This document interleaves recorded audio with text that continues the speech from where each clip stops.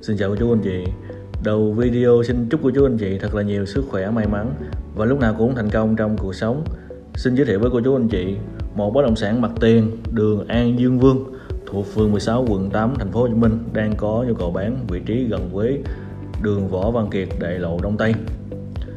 Bất động sản này với diện tích ngang 11 Chiều dài là 65m Diện tích công nhận thực tế là 741 m2 và sau khi trừ lộ giới là còn 647 m2.